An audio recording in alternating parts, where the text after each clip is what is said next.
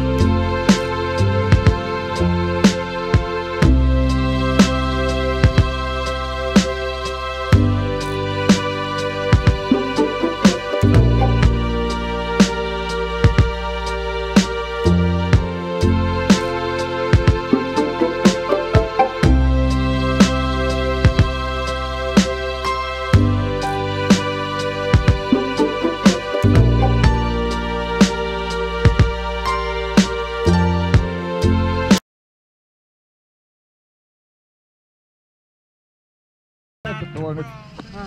Basszus, de jól tudsz kapaszkodni. Jaj. Sérót belőttük, úgy látom. Ennyi.